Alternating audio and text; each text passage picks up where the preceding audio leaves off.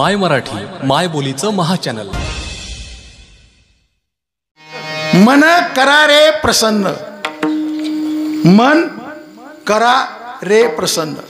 तुकाराम महाराजाची जी भाषा आहे आणि ज्ञानेश्वराची जी भाषा आहे या भाषेमध्ये फार फरक आहे. ज्ञानेश्वराची जर तुम्ही ज्ञानेश्वरी वाचलात त्या ठिकाणचे त्याचे अभंग वाचलात तर त्यांच्या भाषेमध्ये एक प्रकारची विलनशीलता आहे. आणि तुकाराम महाराजाची जी भाषा आहे ती अधिकारवाणीची भाषा आहे. हे काय म्हणतात? मन करा रे प्रसन्न. तुम्ही तुमचं मन प्रसन्न केलंच पाहिजे करा रे. जसा बाप पोराला सांगतो ना जा राहणार तसं तुकाराम महाराजांनी सांगितलंय मन करा रे प्रसन्न. सर्व सिद्धीचे कारण. आता आपण काय करू? असं उलट येऊ जरा. हा अभंग तुम्ही लक्ष देऊन ऐका. नाहीतर दोन वर्षाने नाही जर तुमची बुद्धी भ्रष्ट झाली तर मला फोन करून विचारा. कारण इंग्लंडची मार्गारेट थॅचरसुद्धा बुद्धिभ्रष्ट झाली. माझा एक मित्र आहे फमू शिंदे. ज्याचं पूर्णपणे मराठीवरती प्रभुत्व होतं त्याची बुद्धिभ्रष्ट झाली. त्याचं कारण आहे माणसं एका एका गोष्टीला वेडी व्हायला लागली. आणि वेडी झाल्याशिवाय ती गोष्ट प्राप्त होत नाही हे जरी खरं असलं तरी त्या गोष्टीसाठी किती वेळ व्हावं हे या अभंगातून मी तुम्हाला शिकवणार आहे सांगणार नाही. कारण शिकवणं इथून काहीतरी तुम्ही घरी घेऊन गेला पाहिजे. तर मन करा रे प्रसन्न सर्व गोष्टीचं कारण आहे ते. आता आपल्या जीवनामध्ये सिद्धी काय आहेत हे अगोदर समजून घ्यायचं. मन करा रे प्रसन्न सर्व सिद्धीचे कारण. सिद्धी म्हणजे काय? आपल्याला अजून आपण जीवन कशासाठी जगतो हेच माहीत नाही. माहीत आहे? माहीत आहे? जन्माच्या अगोदर कुठं होतो तेही माहीत नाही. मेल्यानंतर कुठं जाणार आहे तेही माहीत नाही तरी आपण जगतो पहिला बंगला बांधला तरी वरी सळाया सोडतो तरी जगतो किती जगायचं किती पैसे कमवायचं? पैसे तर कमवावेच लागतात. कुठल्याही आपल्या वारकरी संप्रदायाच्या ग्रंथामध्ये असेल किंवा वेदामध्ये असेल पैसे कमवू नका असं कुठेही लिहिलेलं नाही. पण त्याचा अर्थ चुकीचा लावू लागलेत. वैराग्य धारण करा पंढरपूरला जा अगोदर पैसे कमवा. भरलेल्या पोटून कोणालाही सांगता येतं रिकामं पोट कसं भरायचं हे वारकरी संप्रदायाने शिकवलं आहे म्हणून या ठिकाणी आपल्याला आपल्या जीवनातल्या सिद्धी काय आहेत?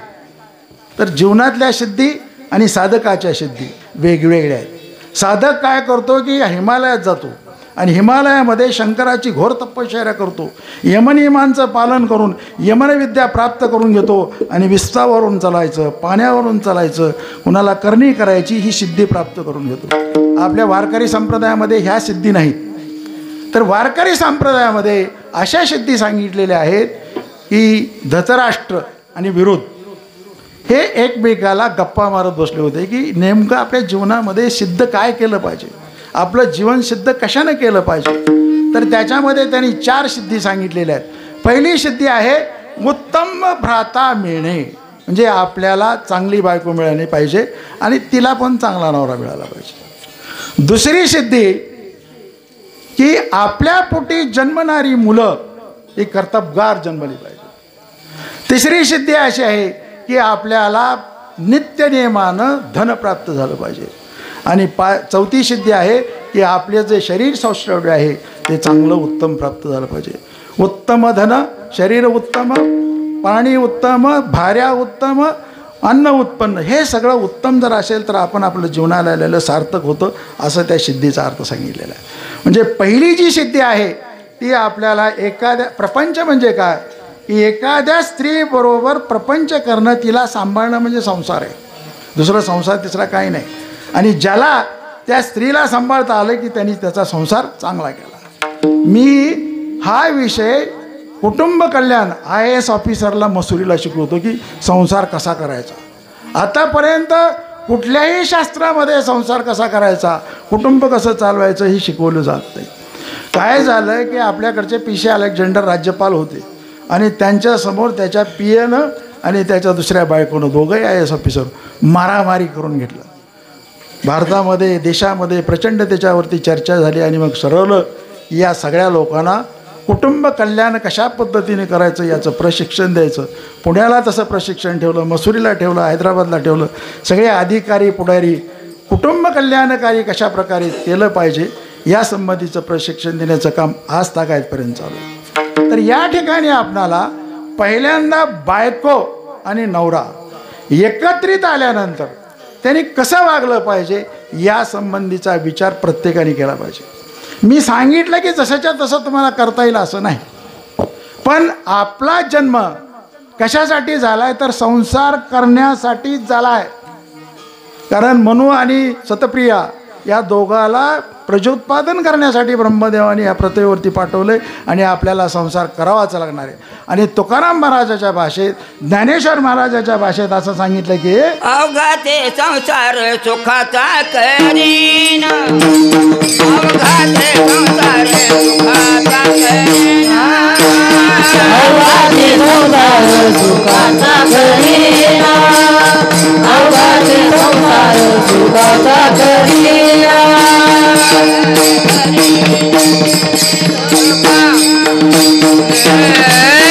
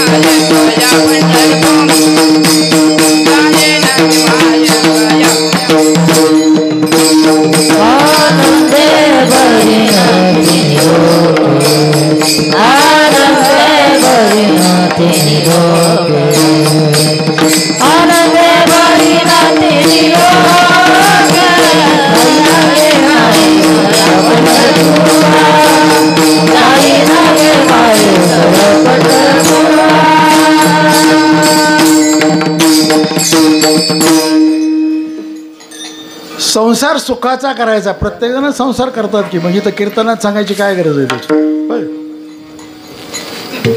काही गरज नाही. संसार करायचा म्हणजे काय करायचं? लग्न करायचं? लेकरं करायची. आणि लेकराने घराबाहेर काढलं की आमच्या दिंडीत यायचं.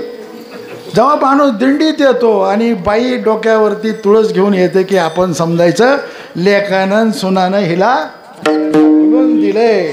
विठाला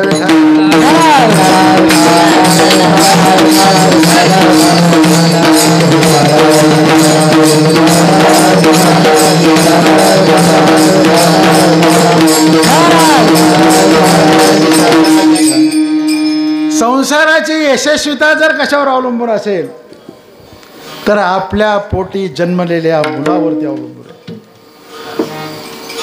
महाभारत संपलं. आणि अर्जुन आणि श्रीकृष्ण फिरायला गेले वृंदावनात. आणि वृंदावनात फिरायला गेल्यानंतर अर्जुनानं श्रीकृष्णाला प्रश्न विचारला की तुम्ही एवढे जगाला ज्ञान देतात आणि तुमचा मुलगा रती महारथी का जन्माला नाही? श्रीकृष्णाला त्याचं उत्तर सांगता आलं नाही. पार्लमेंटमध्ये विधानसभेमध्ये एखाद्या आमदाराला जर प्रश्नाचं उत्तर सांगता आलं नाही तर ते अध्यक्ष काय म्हणतात? मंत्री महोदय याचा अभ्यास करा आणि दुसऱ्या दिवशी ते पटलावर ठेवा. तसं श्रीकृष्ण म्हणाले की या प्रश्नाचं उत्तर मी तुला उद्या देतो. आणि सगळ्या जगाचा कुटाणा मी करत बसलो माझ्या प्रपंचाकडं माझ्या आईवडिलाकडं माझ्या मुलाकडं तेवढा म्हणायला वेळ मिळाला नाही म्हणून माझी मुलं कर्तबगार निघाली नाही नादान अवलादचे ना अवलादाची नसल्यालं परवडलं. आणि मग तेव्हा गुजरातला जाऊ जाऊ जाऊ जाऊ नवस करून लेकरं आणलीस ना? आणि आता का पाय आपटी थेंडती की मिली असती तर बरी झाली ती मिली असती तर बरी झाली. हाताला पदर धरून गेली हाताला पदर धरून गेली. हे कधी होतं?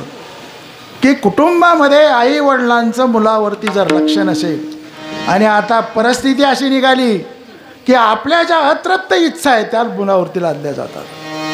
किती त्या मुलाने अभ्यास करायचा? का डॉक्टर झालं म्हणजे जगता येतं? अहो डॉक्टरपेक्षा ह्याचं उत्पन्न जास्त होणार आहे काही दिवसानं.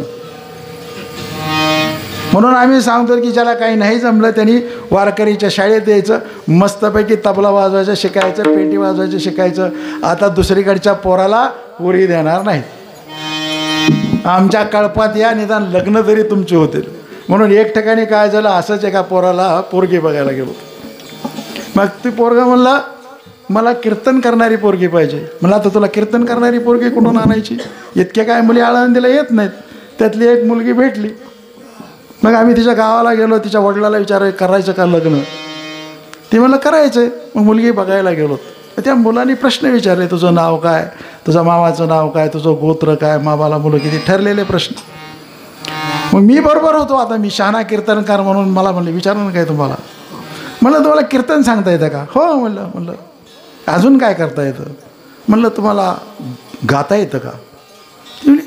फर्स्ट क्लास रुपाळी म्हणते जप करते प्रमाण म्हणते. मग मी तिला म्हटलं आता लक्ष द्या बरं का. मी तिला म्हणलं तुम्ही गाऊन दाखवता का? काय म्हणलं? गाऊन दाखवता का? तिने म्हणले बाहेर बाळू घातलाय ना बघा. विठाला विठाल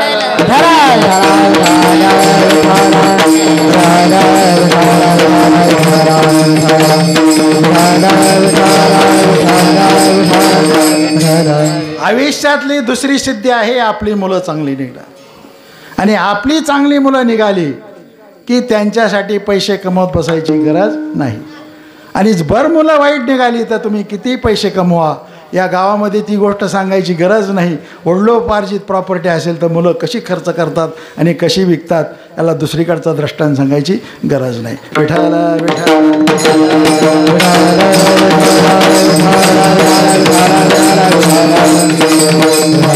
तिसरी सिद्धी. आहे कारण वेळ थोडा मी थोडक्यात थोडक्यात सांगून आपण हा विषय पूर्ण करू.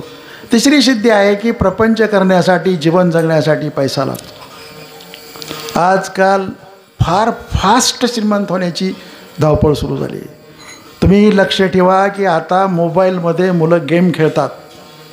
आणि त्या गेममध्ये जर ती हारली अजून इथपर्यंत आलं नसेल ते वारं पण ते पुण्या मुंबईला आहे. तर वडिलाच्या खात्यातले आईच्या खात्यातले पैसे चोरून आपल्या खात्यामध्ये जमा करतात आणि ते त्या रम्मीवरती लावतात. आणि त्याच्यावरून मी श्रीमंत होतोय का ते बघतात. कारण दुनिया इतकी फास्ट आहे. आणि त्या फास्ट दुनियामुळं कुठून बी कसे बी कुठल्याही मार्गानं पैसे कमवण्याची फॅशन झाली. खेड्यापाड्यामध्ये सुद्धा बचत गट स्थापन करतात ते युवा मंच स्थापन करतात.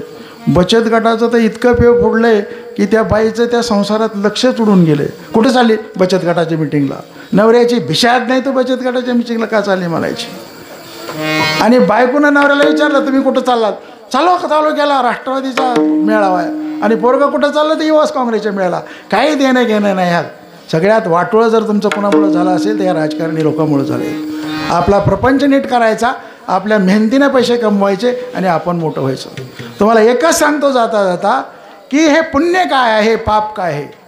की धर्माप्रमाणे कर्म करणं हेच पुण्य आपण धर्म सोडतो आणि कर्म करतो.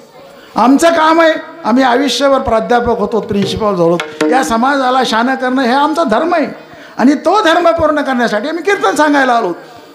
शेतकऱ्याचा धर्म शेती चांगली ठरणं. त्या शेतीमध्ये तण उगू देणं त्याच्यात दगड न ठेवणं हे शेतकऱ्याचा धर्म आहे. आणि ते जर कर्म त्यांनी केलं तर त्याला पुण्य आहे. पण हे कर्म करत असताना वेळेवरती करणं हे त्याचं भाग्य आहे. आणि अशा प्रकारच्या कर्मामधून माणूस पुढं जातोच. बरेच जण म्हणतात शेती परवडत नाहीत शेती परवडत नाहीत. आपल्या महाराष्ट्रामध्ये तीस टक्के कुटुंब असे आहेत की ती शेतीवरती जगतात त्यांची पुण्या मुंबईला घर आहेत. त्यांना काय शेती परवडली? कारण ते धर्माप्रमाणे कर्म करतात. आणि धर्माप्रमाणे योग्य वेळेवरती जर कर्म केलं तर निश्चितपणे चांगला फायदा होतो. म्हणून चांगल्या मार्गाने कर्म करण्याचं शिका. उचित मार्गाने जर पैसे कमवले तर काय होतं? चांगल्या प्रकारचं दुनिया समाधान धन उत्तम व्यवहार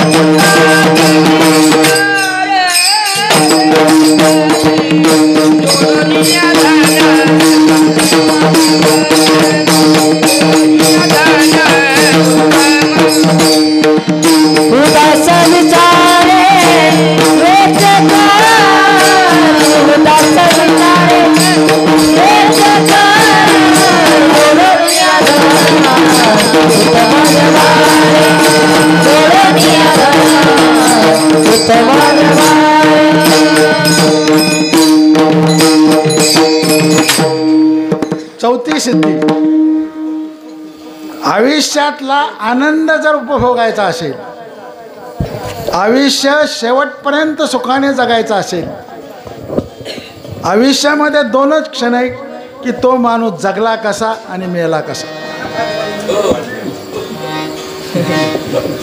विठाला विठाला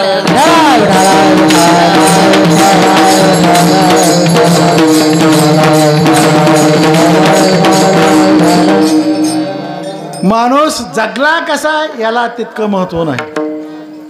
पण माणसाचा शेवटचा कार्यकाळ कसा गेला ह्याला फार महत्त्व आहे. नारदाचं जे रहस्यकथा आहे त्याच्यामध्ये थोडक्यात सांगितलंय की माणूस उत्तरायणामध्ये सकाळच्या प्रहरी जर मेला तर त्यांनी आयुष्यभर चांगलं काम केले आणि जर का तो दक्षिणायनामध्ये संध्याकाळच्या टायमाला मेला तर समजायचं त्यांनी लांड्या लबड्या करून सगळ्या प्रपंचाची फजिती केली. कारण संध्याकाळी मेला तर आता त्याच्याजवळ कुणीच बसत नाहीत. त्याचं कारण सांगतो की जिवंत असताना ह्या सुनानं ह्या लेखानं त्याला इतका त्रास दिलेला असतो की काही घरामध्ये सासूचा आणि सासऱ्याचा फोटो लावायची सुद्धा त्यांना भीती वाटते. एक ठिकाणी मी जेवायला गेलतो. म्हणलं इथं फोटो कोणाचा आहे? म्हणले हे आमच्या सासऱ्याचा आहे आणि हे सासूचा आहे. म्हणलं तुझे आई वडील? म्हणलं तुझे आई वडील कुठे आहेत? तो गप असला म्हणलं गेले काय त्या कोरोनामध्ये गावाकडं? का वरी गेले? परिस्थिती अशी आहे की मेल्यानंतर त्या माणसाजवळ बसायला कोणी तयार नाही. आणि काय काय माणसं गावातले जे चाटा असतात ना ते काय म्हणतात येतात बघत आहेत आणि यायला जाताना सुद्धा हे त्रास देऊनच गेले की हो. आता रात्रभर ह्याच्याजवळ कोण बसा? ते असं बांधतात भिंतीला. त्याला अशी पट्टी मारतात आणि सगळेजण जाऊन झोपतात आणि सकाळी उठून बघू म्हणतात ही वाईट अवस्था आहे अंतविधीची आणि आपली अंतविधी चांगली जर व्हायची असेल तर आपण शेवटपर्यंत आपलं शरीर सांभाळलं पाहिजे. हे नारद रशामध्ये विदुरानं त्या धतराष्ट्राला सांगितले. ते तर आंधळं होतं त्याला फक्त ऐकू येत होतं. तर आपली शरीर प्रकृती इतकं दुर्लक्ष आहे आपल्या बहुजन समाजाचं की तुम्ही कल्पना करू शकणार नाही. आपण दूध काढायचं डेअरीवरती घालायचं आणि इसळलेल्या दुधात चहा प्यायचं. आणि एखाद्या दिवशी जर डेअरी बंद पडली तर पोराला म्हणतो "हां, पे पे. आणि दोन तीन भावाचं जर कुटुंब असेल तर स्पर्धा कशीची लागते दूध पाजायची. आता त्याला जेवढं पचणार आहे तेवढं पाजा ना जास्त पाजून काही उपयोग आहे का? पण नाही नाही. थोरलीनं दोन कप पाजली ना तर धाकटे म्हणते चार कप माझं पोरगं पिलंच पाहिजे. जास्त पिल्यानं शक्ती वाढत नाही जास्त पचन झाल्याने शक्ती वाढते. हे जाता जाता लक्षात ठेवा. आणि आपली पोरं आपलं घर सगळं सुदृढ करा. तरच तुमच्या जन्माला अर्थ आहे. बघा तुम्ही. अजून तुम्हाला स्पष्ट सांगतो इथं काय ब्रा मारवाटी ब्राह्मण नसतील. सांगायला काय हरकत नाही. जवळपास या देशामध्ये राज्य कोणाच्या ताब्यात आहे? कोणाच्या ताब्यात आहे? उद्धव ठाकरे तोच देवेंद्र फडणवीस तोच. हे फक्त काय तुम आगे बोलो हम तुम्हारे साथ आहे. राष्ट्रवादी सोडलं की काँग्रेस काँग्रेस सोडलं की सेना सेना सोडलं की भाजप. ते करत बसण्यात मजा नाही. आपली शरीर प्रकृती उत्तम ठेवली तीच आपल्याबरोबर येणार आहे. आणि इथून पुढं आपली मुलं बाळं आपल्याला सांभाळतील ही अशा डोक्यातून काढून टाका. आम्ही तर प्रत्येक ठिकाणी सांगतो की आपली मुलं एवढी मोठी नाहीत की ते आपल्याला सांभाळतील. आपणच त्यांना अजून सांभाळतो एका म्हाताऱ्यानं मला मुंबईला भेटलं होतं. त्याला त्याचं पोरग परदेशाला चाललं होतं. त्याला तिकडची गावाकडची जमीन विकायला लावली आणि पैसे घेऊन आलं. आणि खोटा पत्ता दिला. सांतकृषी विमानतळ सांगायची माहीमचा पत्ता दिला. मला त्याची भेट झाली. ते रडत बसलं होतं. मी म्हणलं का रडता? तर हा पत्ता कुठे? म्हणलं तुमच्या मुलानं चुकीचा पत्ता दिला आहे आणि त्याच्या आईनं त्याला त्या घऱ्याचे लाडू करून दिले होते की माझ्या मुलाला घऱ्याचे लाडू आवडतात. म्हणजे सांभाळतंय कोण पोरायला? अजून आई वडीलच सांभाळतात. मुलं सांभाळीत नाहीत. आणि मुलं सांभाळू नयेत आपल्याला चलत चलत मरण यावं. कुणाच्या तरी ओझ्याखाली कुणाच्या तरी आश्रयाखाली आपल्याला मृत्यू जर यायचा नसेल तर आपली शरीर सौष्टव्य आपल्याला नीट राखता आलं पाहिजे. आणि शरीर सौष्टव्य नीट राखण्यासाठी आपला समाज फार मोठा मागं पडलेला आहे. चांगलं खा चांगलं झोपा चांगलं काम करा. कर्म हे पुण्य आहे. विश्रांती ही लक्ष्मी आहे. विश्रांती घ्यायची नाही. आली लाइट घ्या. बारा बारा घंटे दारी दाराला तुला काय कोणी फोन स्वर्गातून फोन पाठवला होता. आला नाक चावला गेला उडत. कर्म करायचं शिस्तबद्ध करा. उगा कशाच्याही मागवलं आपल्या जीवना म्हणजे जगणं नाही धावणं आहे. बाकीचे लोक कसं जगतात बघा. सिस्टमॅटिक खातात सिस्टमॅटिक काम करतात सिस्टमॅटिक झोपतात. आपल्याकडे तसं काहीच नाही. आणि हे शरीर सौष्टव्य म्हणजे सिद्धी आहे. आणि ती सिद्धी प्राप्त करण्यासाठी काय केलं पाहिजे? नेहमी करता आपण विचार केला पाहिजे. क्षणोक्षणी हाची.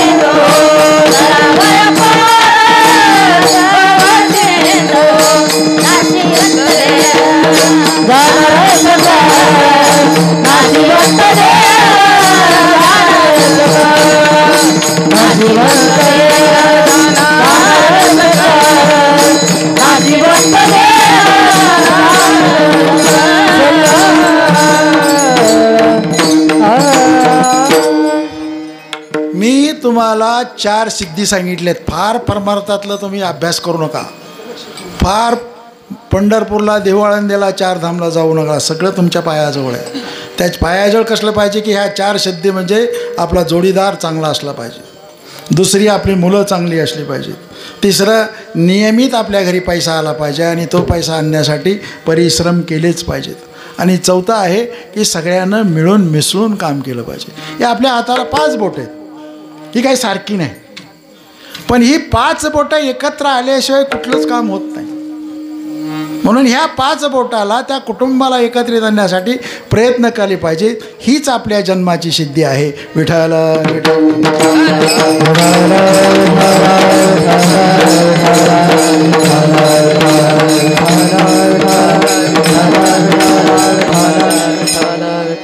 आता ही सिद्धी आपल्याला प्राप्त करून घेण्यासाठी आपण ह्या सप्त्याचं आयोजन करतो.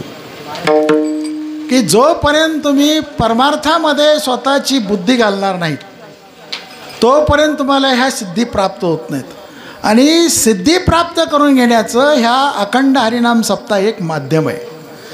की जेव्हा महाभारताचं युद्ध संपलं आणि महाभारताचं युद्ध संपल्यानंतर हे सगळे पांडव श्रीकृष्णाला निरोप देण्यासाठी हस्तिनापुराच्या वेशीवरती आले. शेवटी अर्जुन आणि श्रीकृष्ण एकमेकाचे मित्र. अर्जुनाला श्रीकृष्णाने काय केलं? द्वारकेला घेऊन गेले. तिथं त्याला महिनाभर ठेवून घेतले आणि परत पाठवले. वाटेमध्ये पानिपत जिथं युद्ध झालं त्या युद्धाच्या ठिकाणी आदिवासी मुलानं अर्जुनाला गाठलं आणि त्याचा रथ मोडला त्याला मारलं हाणलं आणि विवस्त्र करून हस्तिनापूरला पाठवलं. तिथं त्या ठिकाणी विदूर नावाचे एक संत आलेले होते. ते म्हणले की तुला अशी का परिस्थिती झाली तर तो म्हणला माझ्या शरीरातला पूर्णपणे राम निघून गेलेला आहे. आणि त्या पाच जण भावांनी मिळून काय केलं की आता आपणही ही लोकाला जाण्याची तयारी केली पाहिजे. इकडं द्वारकेमध्ये श्रीकृष्णानं माझं अवतार कार्य संपलेलं आहे. मी आता हा इहलोक सोडून परलोकात गेलो पाहिजे अशी धारणा स्वतःच्या भावावरती स्वतःच्या पुतण्यावरती सांगायला सुरुवात केली. शेवटी गवळणी त्याचे यादव त्याचे पाहुणे रावळे रडू लागले आक्रोश करू लागले. तर श्रीकृष्ण म्हणाला की मी तुम्हाला भेटेन पण जिथं अखंड हरिनाम सप्ताह असेल जिथं हरिनाम कीर्तन असेल त्या ठिकाणी मी प्रकट होईल.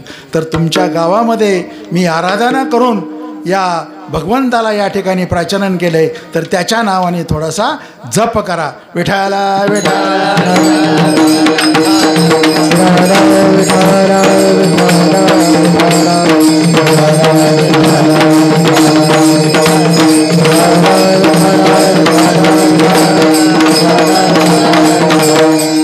भगवंताचं या ठिकाणी प्रकटीकरण झालेलं आहे.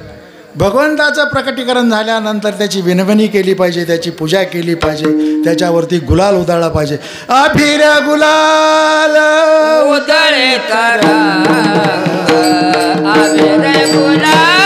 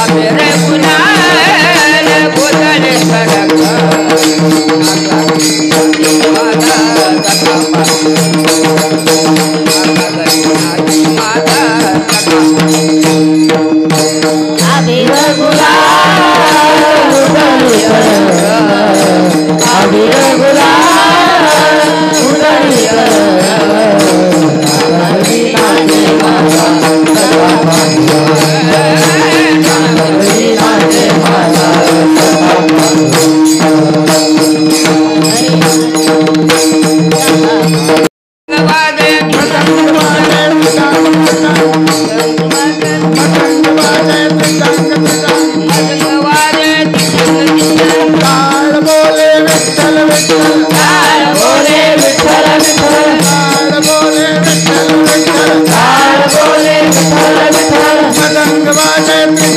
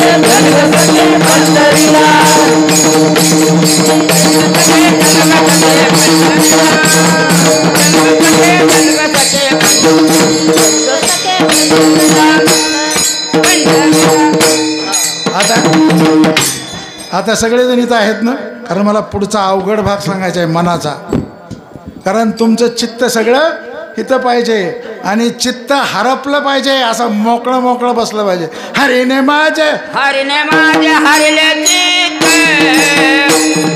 हरिने माझे हरिले चित्त हरिले माझे हरिले चित्त हरिले माझे हरिले चित्त हरिले माझे हरिले चित्त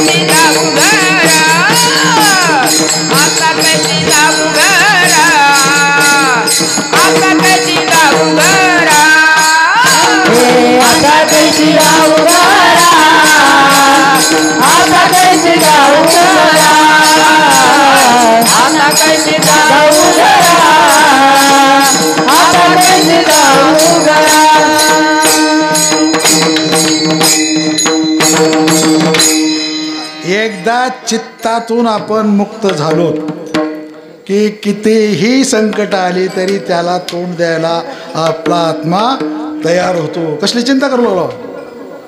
लाइट आहे ना रानात? का अजून तिकडचं चेड चालू आहे? अहो किती जरी ऊस पाठविला तरी सुद्धा तुमच्या अंतविधीच्या नंतर जी विधी असते ना? दिवस पुन्हा श्राद्ध. त्याला कुठलंच पोरग पट्टी केल्याशिवाय श्राद्ध घालणार नाही. ही वस्तुस्थिती आहे. म्हणून इथून पुढचं आयुष्य तरी असं आनंदात घालवायचं की कसलीच चिंता करायची नाही. सगळी चिंतेचं निराकरण करणारा परमेश्वर आहे. तर चिंता कशी हरवली जाते? हरीची याद असा. हरे जाहे हरे जियादाचा हरे जाहे दिसा हरे जाहे दिसा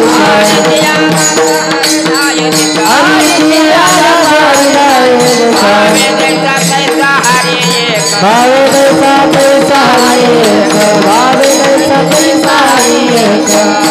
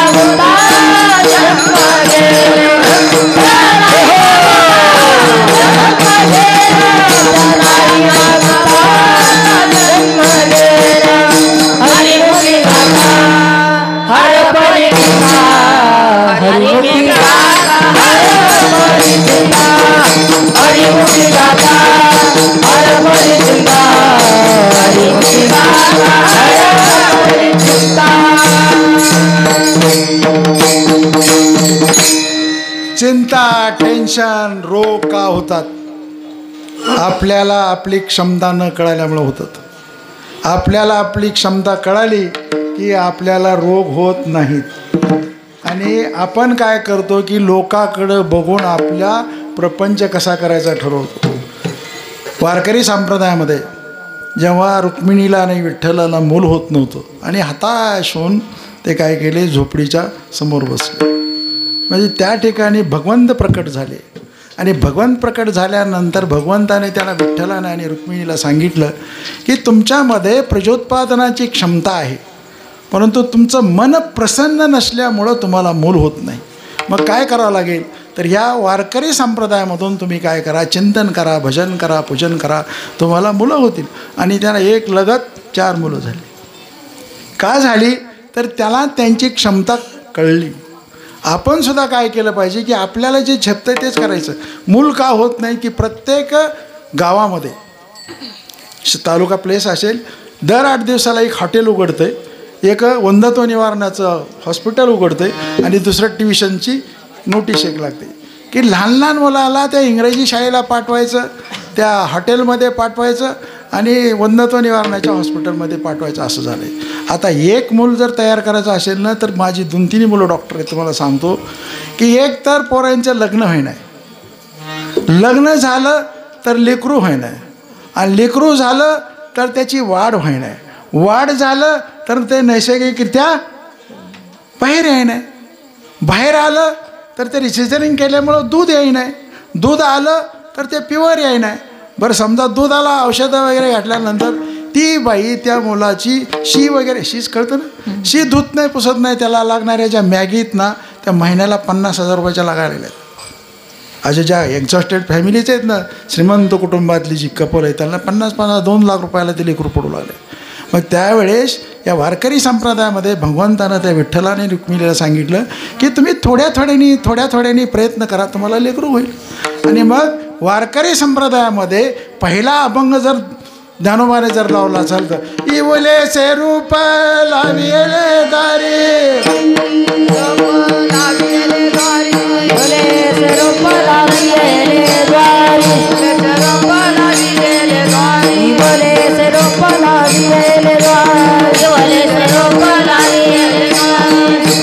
त्याचा वेलू गेला गगनावरी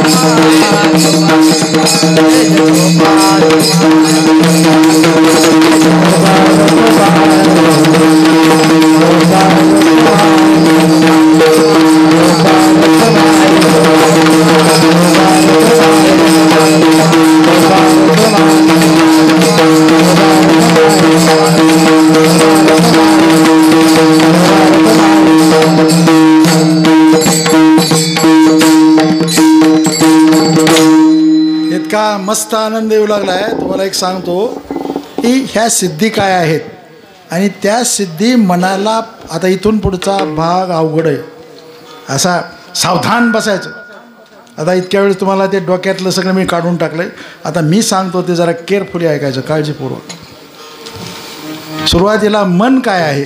बुद्धी काय आहे? आणि ह्या मनाची आणि बुद्धाची अवस्था आपलं जीवन जगताना कशी होते? आणि त्याच्यातून मार्ग कसा काढायचा? कारण इतक्या वेळात अकरा वाजले तरी अजून एक पंधरा वीस मिनटं अर्धा तास आपण बसू. मन आणि बुद्धी हे एकाच नाण्याच्या दोन बाजू आहेत. मन जोपर्यंत आपण प्रकट करणार नाहीत आपल्या मनातलं जोपर्यंत आपण दुसऱ्याला बोलून दाखवणार नाही तोपर्यंत मन प्रसन्न होत नाही. आपण काय करतो वागताना? आपल्या मनात जे साचलंय त्यातलं अर्ध साचतो आणि इथं मानेवरती जी रक्ताभिसरण संस्था असते ती रक्ताभिसरण संस्था एक बाहेर सोडते आणि एक मध्ये दाबून धरते. आणि त्याच्यामुळं काय होतं की रक्ताचं सर्क्युलेशन नीट होत नाही. आणि रक्ताचं सर्क्युलेशन नीट नाही झालं की तिथे गाठ बनते. आणि ग्रामीण भाषेमध्ये आपल्या गावरान भाषेमध्ये काय म्हणतात? आतल्या गाठीचा. आतल्या गाठीचा कधी म्हणायचं की त्याच्या मनात साचलेले जे आनंद आहे ते दुःख आहे ते त्याने कुणाला तरी सांगितलं पाहिजे. सांगणं म्हणजे प्रकटीकरण करणे. तोषवणी द्यावे माझं पसायतान. म्हणजे काय केलं पाहिजे की आपण जे बोलतो वागदने तोषवून द्यावे माझं पसायताने. आपण जे बोलतो त्या बोलण्यावरून आपण कोण आहे ते ठरतो.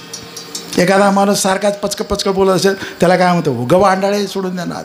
एखादा माणूस काहीच बोलत नसेल तर त्याला वाटतं गो आतल्या गाठीचा आहे. एखादा माणूस कारण नसताना जिथे तिथं टोच पोचित असेल त्याला म्हणते जाऊ दे ह्याचा धंदा असते.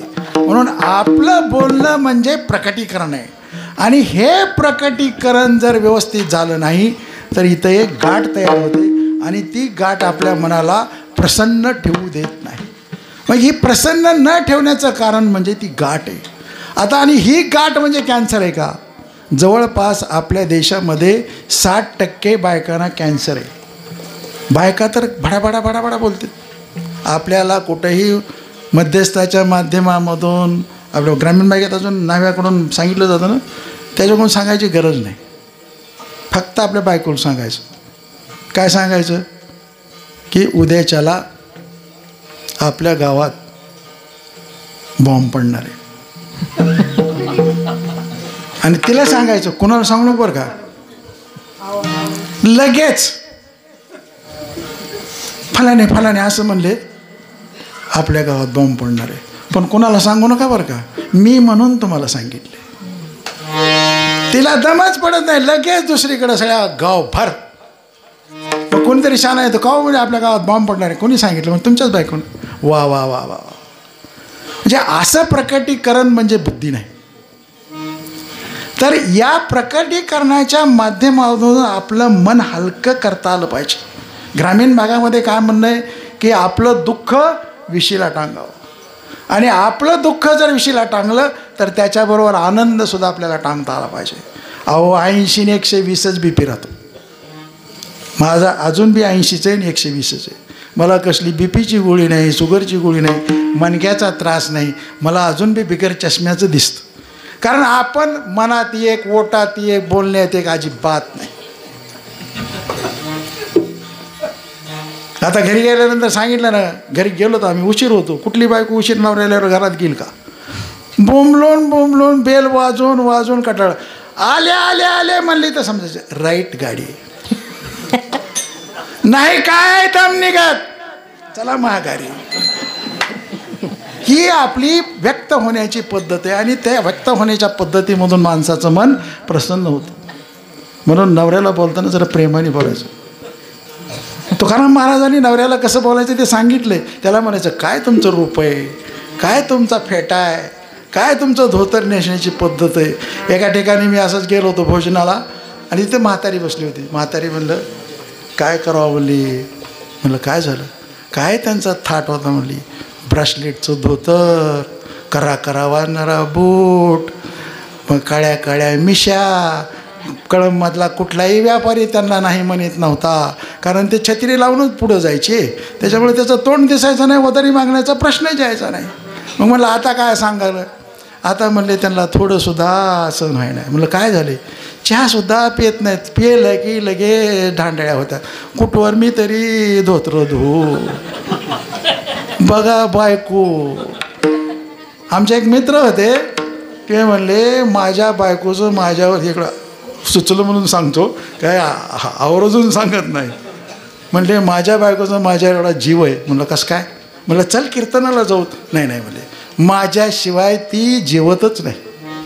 म्हणलं तू काय कर एकदा कोर्टाला जायच्या ऐवजी. ती वकील होता. कोर्टाला जायच्या ऐवजी तू काय कर वरच्या मजल्यावर जाऊन बस. तुझी बायको काय करते ते बघ. हिने आपलं बॅग घेतली बाहेर गेल्याने केला आणि मागच्या दारून माडीवर बसला. माडीवर बसल्याने तिने बघितलं साडे अकरा बारा वाजल्या की एक पेढेवाला आला. सरमगुंडीचे पेढे. पेढे घ्या पेढे पेढे घ्या पेढे. तिनं पाव किलो पेढे घेतले. मस्त टिचिले. पुन्हा थोड्या वेळाने दोन तासानं ते रस विकणारा. गाड्यावरचा रस गाड्यावरचा रस गाड्यावरचा रस थंडगार रस. दोन ग्लास रस आणला पुन्हा तरी तिचं काय भागाना. दुकानात गेली आणि अर्धा किलो तांदूळ आणले आणि भात शिजू टाकला आणि भात बी आणली. आणि बरोबर पाच वाजता तिला माहिती आहे आता नवरा येणार आहे. दारात अगदी नटून ठकून उभा राहिली. तितक्यात हा मागच्या दाराने येऊन आपले बॅग घेऊन आला. आणि कसं हो तुम्हाला एवढा उशीर झालाय? ते मला सर आता एवढ्या जोरात तुमची म्हणायची ताकद नाही. सर काय की एकच तरी करू. त्याला लय लागती ताकद. सरक बाजला. असं. आता आपल्या बाजूनं कसलेच कायदे राहिलेले नाहीत. सगळं राज्य त्यांच्या त्याच्याकरता. तू मोठी तुझं खानदान मोठं तुझा बाप मोठा आणि तू बी मोठी. तिने काय म्हणला सराय बाजूला. तिने म्हणली असं काय वेडे असं का हो वेडे वाकडे? तरी म्हणला कुणी खाल्ले कसरामकुंडीचे पाव किलो पेढे? मग तिने आज म्हणले त्याचा मूड नसल. काही सांगितले नाही कोर्टातली बात बीत त्याने म्हणला कुणी खाल्ला अर्धा किलो भात? त्याने म्हणलं असं का वेडे केडे? तू म्हणली जमिनीवर बसली त्यावेळेस म्हणली विठाला विठा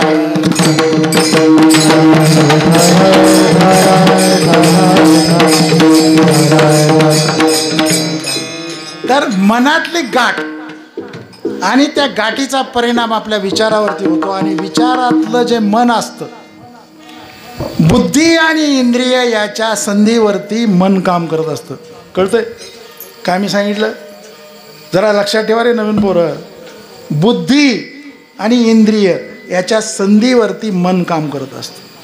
आणि मन सारखं डिवचत असतं. एखादी समोरून सुंदर स्त्री चालली. सोपे उदाहरण सांगतो यांच्यासाठी. बघा वाटतं की नाही? खरं सांगायचं रे. आम्हाला वाटतं तुला वाटणं का? हे काय म्हणतं? मन म्हणतं तिच्याकडं बघ तिच्याकडे बघ.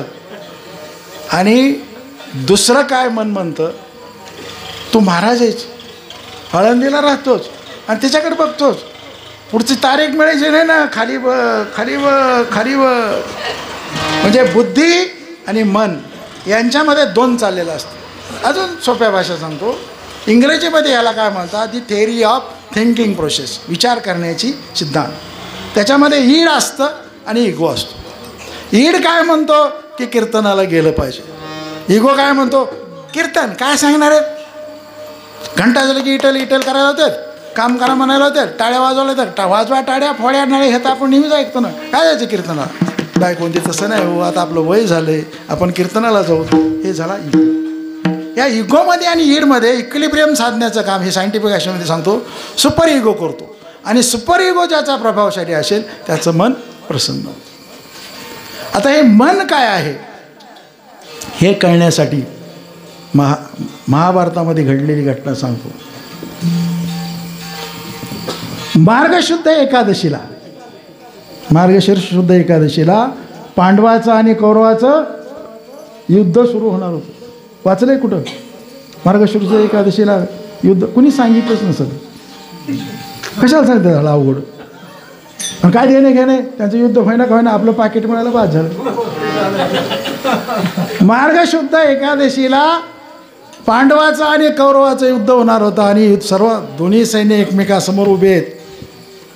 आणि युधिष्ठिराला काय वाटलं का की युधिष्ठिराने सगळी शस्त्र खाली ठेवली पायातला बूट काढला तोही रथात ठेवला आणि पुढं निघाला. श्रीकृष्ण बघतच राहिला.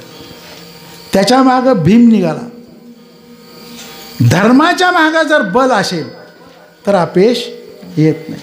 आणि धर्म बल आणि धनु धनुर्विद्या एकत्र जर आली तर निश्चितपणे विजय होतो. हे दोघंजण गेले. आणि भीष्माचार्याच्या पाया पडले. भीष्माचार्याने म्हणले तू आता माझ्या पाया पडायला आलाचस. तर पाया पडायला आल्यानंतर तुला मी मोकळ्या हाताने परत पाठवणार नाही. मी तुझ्या बाजूनं लढणार नाही.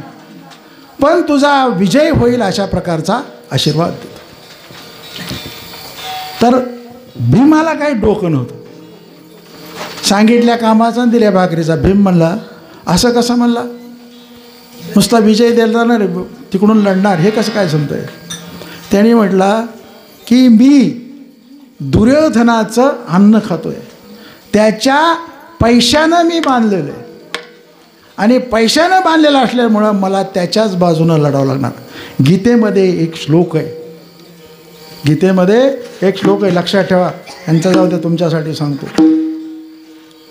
गुलामश्च अर्थ प्रिय। हा म्हणजे आपण जर एखाद्याचे पैसे घेतले तर आपण त्याच्याकडं गुलामाप्रमाणे वागावं लागतं. आणि या श्लोकाप्रमाणे सध्या सगळं जग वागतं आपण पैशाचे गुलाम आहेत. पण पैसा आपला गुलाम नाही. तो येतानाही विचारित नाही आणि जातानाही विचारित नाही. मग हे तिघंजणही तिकडे गेले. त्यांचं दर्शन घेतलं. भीष्माचार्याने दिलेल्या आशीर्वादामुळं पांडवांचा विजय झाला. हे माणसाचं विनयशीलतेमधलं मन आहे. आणि हे मन करण्यासाठी आपल्या आचरणामध्ये विनयशीलता असली पाहिजे मन प्रसन्न राहतं. अहमगंड आला मन संपलं. विनयशीलता आली मन प्रसन्न राहिलं. म्हणून जो माणूस विनयशीलतेने वागल त्याचंच दुकान चालतं. या कळमला तो मारवाड्याचं दुकान आहे बाहेर. काय नाव आहे त्याचं? कपड्याचं दुकानाचं तिसरी पिढी आहे त्याचं दुकान चालतंय. हां भलाई आणि आपल्या समाजाचं एक दुकान दुसऱ्या पिढीतच फुटलं. त्याच्या कॉम्पिटिशनमध्ये ते दुकान कळमलं चालत होतं. तुम्ही आता त्याचं नाव शोधून बघा. काय राहिलं त्या घरामध्ये? त्या बोरगावचं दुकान. कारण काय? अम ही तुम्हाला चालती बोलती मी उदाहरणं का सांगू लागलो आहे की आपल्या समाजानं कुठंतरी या गोष्टीचा विचार केला पाहिजे. की हे मन आहे. हे मन विनयशीलतेमुळं प्रसन्न होतं. आणि मनाची अवस्था इतकी बिकट आहे की त्या मनाच्या अवस्थेमुळं माणूस फसतो. मन दिवसातून बारा उतरंडी चढतं आणि बारा उतरंड्या खाली उतरतं. मन कळायला लागलं की ते कळायला नसतं कळायला नसतं. भरताला गादी मिळाली. कुणामुळे मिळाली? कैकई ज्या वेळेस न्हावून धुवून उभी राहिली होती त्यावेळेस दशरथ राजाला काय हुकी आली? तिचं वर्णन करू लाग गजगामिनी मच्छनयनी. आता ते वय आहे का? साठ बासष्ट वर्षाच्या माणसानं बायकोचं वर्णन करायची काही गरज नाही. आणि मग म्हणली आता नवरा मूडमध्ये आला आहे त्याच्याकडून काहीतरी मागितलंच पाहिजे. तिनं म्हणले की रामाला वनवासाला पाठवा आणि भरताला गादीवर बसवा. ते म्हणले रा भरताला तुझ्या गादीवर बसवतो पण रामाला वनवासाला पाठवण्याचं काय कारण आहे? ते म्हणले नाही नाही. हे तिच्या डोक्यात कोणी घातलं होतं? मनानं घातलं होतं. राम वनवासाला गेला. चित्रकूट पर्वतावरती त्याला माहीत होतं की हे मारी शारण्य यांनी हरणाचं कातडं नसून सोन्याचं कातडं हे कर्तरीमरित्या बसवलं आहे सीतेनं काय केलं की गोसायाच्या रूपामध्ये आलेला रावण स्वीकारला पण लक्ष्मणाच्या वेशातला संत तिने नाकारला. हे काय आहे? काय आहे? मन आहे. मन वड्याळ वड्याळ जसं उभ्या पिकातल ढोर. हा करता हा करता नाही निघत. बाहेर हा अभंग नाही. ही बहिणाबाईची कविता आहे. ती मन वड्याळ आहे. त्याला किती हाकरण्याचा प्रयत्न केला तरी ते हाकरत नाही आणि त्या पिकाच्या बाहेर पडत नाही. म्हणून या मनाला आपण काय केलं पाहिजे? बुद्धीनं चुचकारत चुचकारत चुचकारत ताळ्यावर आणलं पाहिजे. तरच आपल्याला रिद्धिसिद्धीपर्यंत प्रवास करता येतो. नाही तर प्रवास करता येत नाही. म्हणून मन प्रसन्न ठेवण्यासाठी काय केलं पाहिजे की आपल्या शरीरामध्ये चालणारी जी रक्ताभिसरण संस्था आहे तिला प्रकट करता आले पाहिजे आणि त्या प्रकटामध्ये अडकलं न पाहिजे. आता मन सगळ्याचंच सारखं नसतं. जरा थोडं थोडं या ज्ञानेश्वराने माणसाचे तीन वर्ग केलेले आहेत. आहे रजगुणी तमगुणी आणि सत्वगुणी. या रमज रजगुणी तमगुणी आणि सत्वगुणांची मनं वेगवेगळी असतात. आणि रजगुणांचं मन काय असतं की त्याला कुठल्याही प्रकारचं कष्ट न करता राज्य पाहिजे असतं. तमगुणाचं कुठल्याही मार्गाने मला राज्य मिळालं पाहिजे हे तमगुणाचं तत्व असतं. आणि सत्वगुणाचं तत्व म्हणजे ह्या वारकरी संप्रदायामध्ये ठेवेली आनंद तैशी चिरावे मुखी असू द्यावे रामनाम अशा प्रकारचं ते मन असतं. आता या मनाला वाटेवरती आणण्यासाठी मनाचं सौभाग्य टिंकल्यासाठी काय केलं पाहिजे? संतांची संगत धरली पाहिजे. आणि या संतांच्या संगतीमधून काय होतं की मन प्रसन्न होण्यासाठी प्रयत्न केला जातो. संत ऐसे जान जे देही उदास. देवाच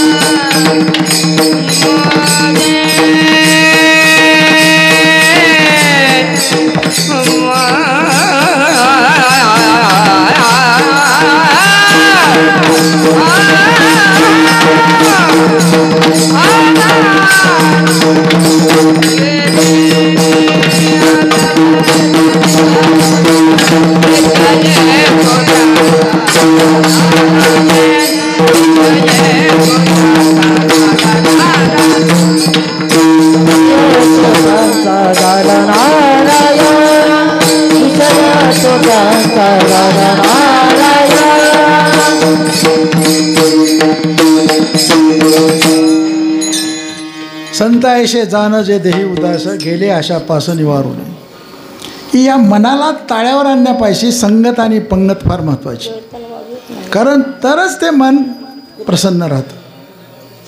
आणि अशा प्रकारचं मन प्रसन्न ठेवण्यासाठी जे आपल्याकडं पाश आहेत पाश कसे आहेत? तारापास स्वजनपास मृत्यूपाश संततीपाश संतती शेजाऱ्याचा पाश अशा प्रकारचे सात पाश आहेत. प्रत्येक माणूस हा स्वतःच्या बायकोमध्ये गुंतलेला आहे. प्रत्येक माणूस स्वतःच्या पुत्रामध्ये गुंतलेला आहे. प्रत्येक माणूस स्वतःच्या नातेवाईकामध्ये गुंतलेला आहे.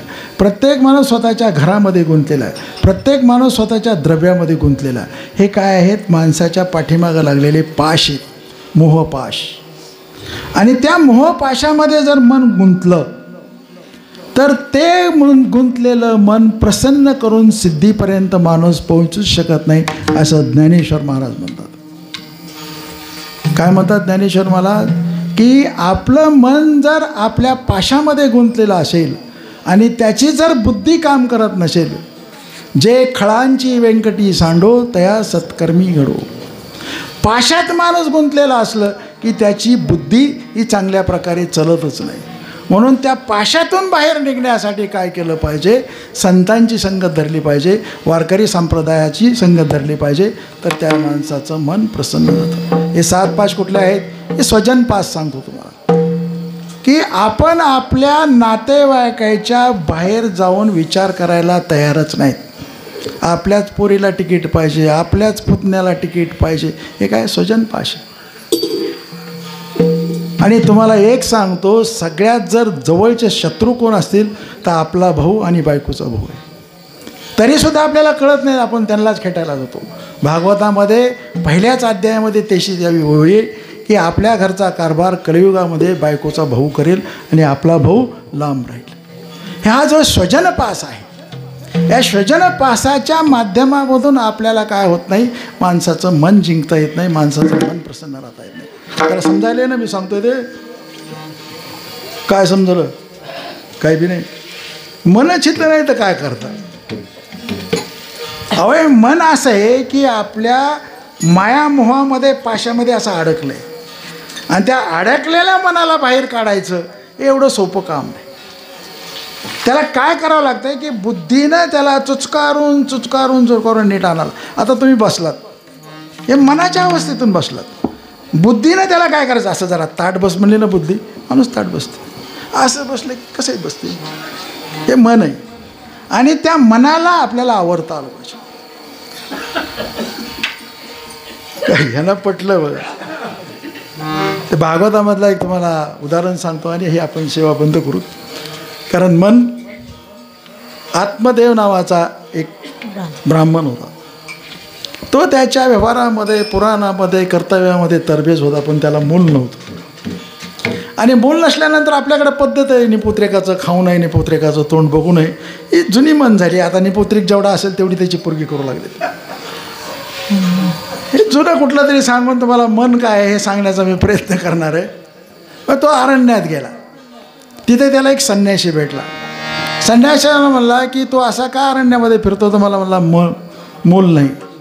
अरे म्हणला ज्याला स्वतःचं कल्याण करता आलं नाही ज्याला स्वतःचं मूल निर्माण करता आलं नाही तो मूल निर्माण करून त्याचं कल्याण काय करणार आहे?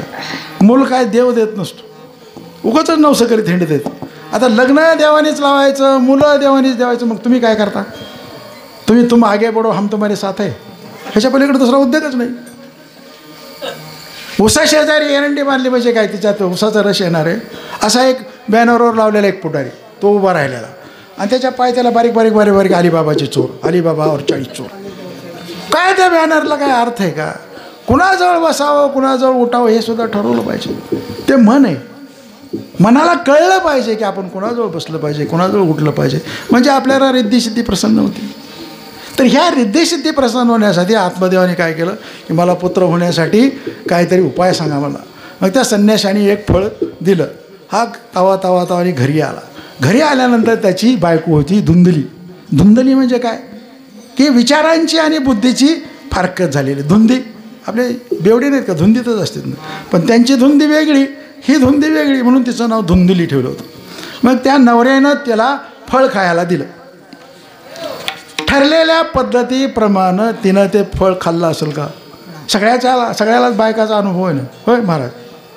नवरेने सांगितलंय. हा बघा. मला कीर्तन सांगायची काही गरज नाही आता पटलंय त्यांना. नवऱ्याने सांगितलं आणि बायकीनं ऐकलं असं कधी घडतच नाही. त्याच्याकरता आपण सांगायच्या भानगडीतच पडायचं नाही. ह्याने म्हणलं तू ते फळ खा. अतिशय संशयी बुद्धी. आणि संशय हे पाप आहे. आपल्याकडं पूर्ण पुरावा असल्याशी संशय कोणावर घेऊ नये. ज्ञानेश्वरीत सांगितले ज्ञानेश्वरी जरा नीट वाचा. त्याचा नीट अर्थ लावा. आणि मग त्यांनी काय केलं की केली मैत्रिणीकडं. कारण ही स्वतःची बुद्धी वापरणारी क्रिया नाही. बाई दुसऱ्याचा सल्ला घेतल्याशिवाय निर्णयच घेऊ शकत नाही. पापड्या घालायच्या असेल तर मीठ किती टाकावं म्हणून शेजाऱ्याला जाऊन विचारते आणि पापड्या घालून घालून कटाळली तरी मिठाचा काही मेळ लागला नाही. आपण एवढं ध्यानात ठेवायचं पुरुष मंडळीने तुम्हाला काय करायची ती करा म्हणायची. मग हिने गेली मैत्रिणीकडं. मैत्रिणीला विचारलं अगं म्हणली काय इडीच काय शॅनीज म्हणली हे फळ खाल्लं की तुला लिकरू होईल पोट वाढेल तुला चालता यायचं नाही. तुझं सौंदर्य सगळं नष्ट होईल.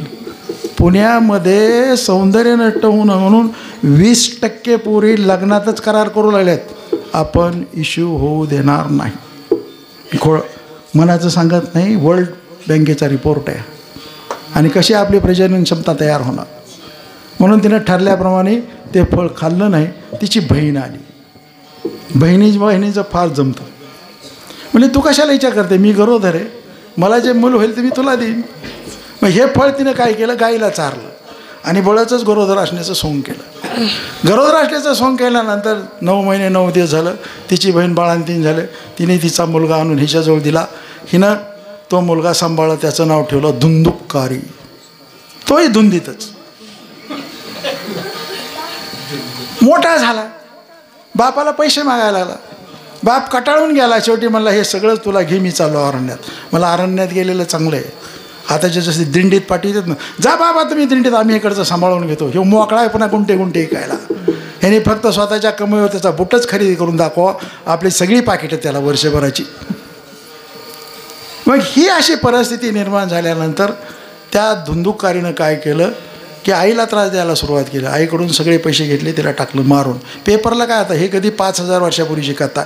ते आता कुठं कुठं अनुभवाला येऊ लागली की मुलानं आईला मारलं मुलांनी बापाला मारलं. मग तिला मूल झाला आणि त्या गाईला पण मुलगा झाला.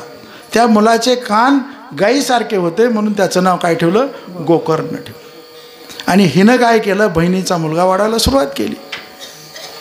आता आई वडिलांचे जे गुण असतात ते मुलात यायला पाहिजेत.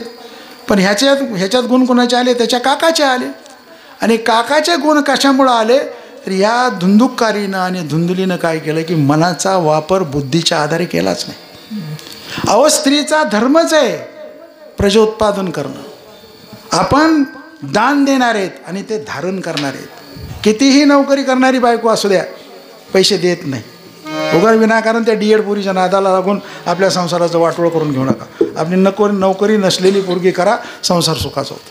काय लागतं संसार करायला? बाई कमवलेले पैसे नव नवऱ्याला देत नाही नवऱ्याने ते मागण्याचा प्रयत्न करू नये तशी अपेक्षाही ठेवू नये. कारण निसर्गताच ती गर्भधारणा करणारी आपण दान देणारी आहेत.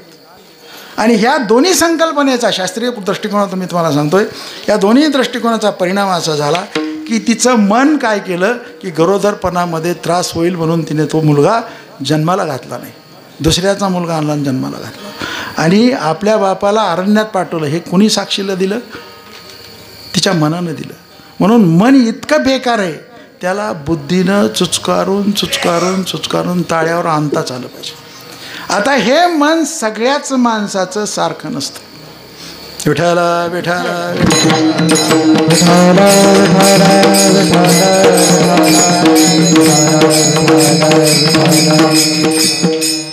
तुळशीदासानं तुळशी रामायणामध्ये माणसाचे नऊ प्रकार सांगितले. आणि त्या नऊ प्रकाराप्रमाणे नऊ प्रकारची मनं असतात. समजतंय ना? हे जरा सोप्या भाषेत सांगतो की पहिला प्रकार सांगितला आहे कावळा. कावळ्याचा गुणधर्म काय? जिथं घाण असेल तिथंच त्वचा मारायचा. आता इतकं तुम्ही कीर्तनाला आलात ना माझं हे जरा पो क कंबर बांधण्याची थोडी डिले आयला महाराज कुठला आणलं होतं कंबर जरा ढिलीच बांधली होती. तू टाईट करून बांधून इथे येऊन उभा राहा बरं. म्हणजे तुला कळतंय महाराज होताना काय काय फाटात आणि काय काय विस्कटतंय ते. म्हणजे जिथंच दोष आहे तिथंच त्याचं लक्ष देणार पोपट आणि कावळा फांदीवर बसले होते आणि खालून एक घोडं चालवतं असं एकदम सुंदर. पोपट म्हणला काय घोडं सुंदर दिसते कावळा म्हणला काय येडायच म्हणला. म्हणलं काय झालं? आहे का त्याची नाळ पडलेली? म्हणजे कावळ्याला जर नाळ पडलेली असेल तर तिच्या टोची मारता येते आणि खाता येते पोपट मला नाळीचा आणि माझा काही संबंध नाही. हे कावळ्याचं मन वेगळं पोपटाचं मन वेगळं. पोपटच्या जातीची जी माणसं असतात ना जेवढं बोलवलं आहे तेवढं शिकव बोलतात. ती मनाचं काहीच बोलत नाही एक असंच येडं होतं आणि बायको बघायला गेलं. मग त्याच्या घरामध्ये एक शाणी भाऊजाई होती. तिला वाटलं आपल्या दिराची कुठंतरी कुचंबना होऊ नये म्हणून ती म्हणला वहिनी ते म्हणली काहो भाऊजी? मी तिथे गेल्यानंतर काय करू? आता ही बाई शिट्टाव मोठीच भाऊजाई ते म्हणली तिथे गेल्यानंतर म्हणावं तुझं नाव आहे काय म्हणावा? तू कुठवरपर्यंत शिकलीत म्हणावा? तुला भाकरी कालवानी येतं आहे का म्हणावा? ही आपलं जसं शिकविलं असंच म्हणलं.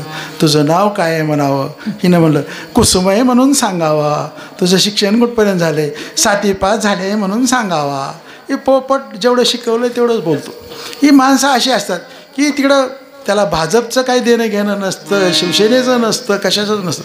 पण वरचा माणूस जे बोलेल ते खाली बोलतात पोपटासारखं ट्यूट्यू बोलतात आलेला फंड खिशात घालतात मतदानाच्या दिवशी दिंडीत निघून जातात. ही पोपटाच्या जातीची माणसं. राजहंश आहे. त्याला दूध वेगळं आणि पाणी वेगळं करता येतं. तो माणूस जगताना मनाच्या आधारे काय वाईट आहे काय चांगलं हे ठरवतो. घुबड आहे. घुबडाला कधी देवाचा काही संबंध नाही. म्हणून जी कीर्तनाला आलेली नाही ती कोणत्या जातीची माणसं आहे ते तुमचं तुम्ही ठरवा. कारण इथं येणारी माणसं ही राजवंशाची असतात. घरी बसणारी माणसं ही त्याचं नाव न घेतलेलं बरं विठाला विठाला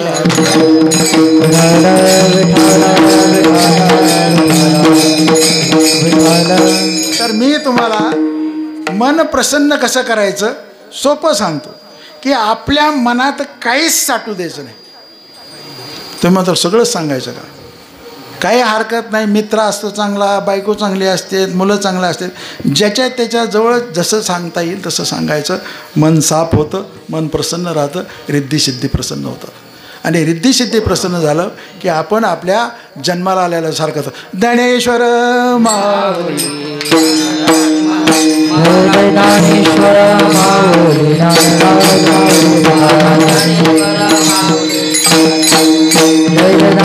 ज्ञानेश्वर माऊली जय ज्ञानेश्वर माऊली ज्ञानेश्वर माऊली माऊली जय ज्ञानेश्वर माऊली माऊली जय ज्ञानेश्वर माऊली माऊली जय ज्ञानेश्वर माऊली माऊली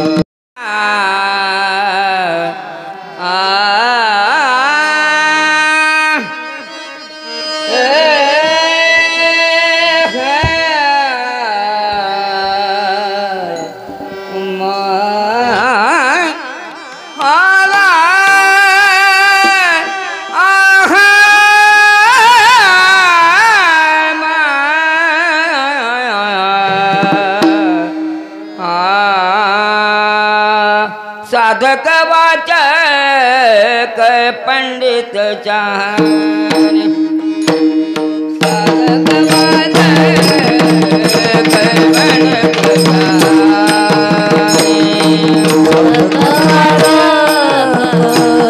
पंडित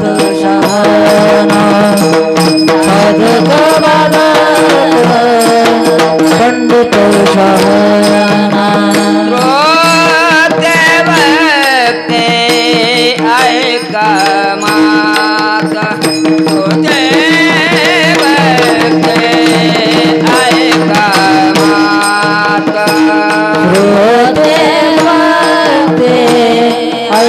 Come on,